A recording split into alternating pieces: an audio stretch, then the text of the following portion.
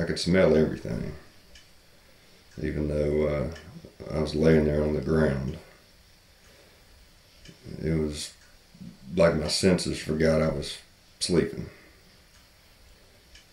Creosote and ocotillo, juniper, smells I'd kind of forgotten.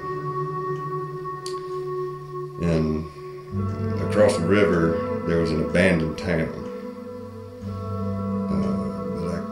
Can't recall the, the makeup of it. But it was pointed towards this white cathedral.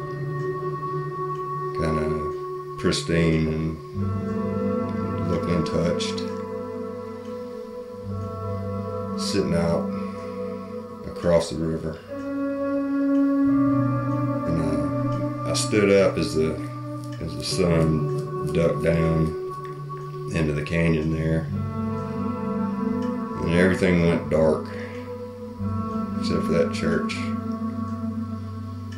It was just kind of hung there like glowing like a moon.